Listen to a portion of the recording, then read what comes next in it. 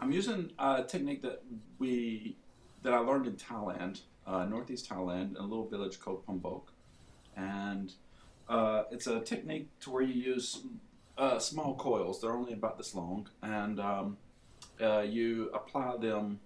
Uh, you apply them one at a time, and the way the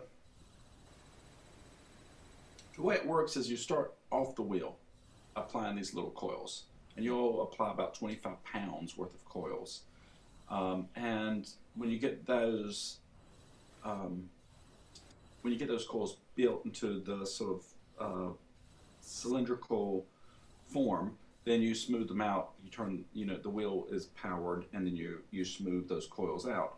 The the the brilliant part about the process is is that you're only lifting about a pound and a quarter at a time and you're sitting with proper posture and you are able to manipulate the clay in these small sections. So when we build the big pots uh, we're only working in these uh, very very short sections um, which is problematic because you have to be able to see the form overall.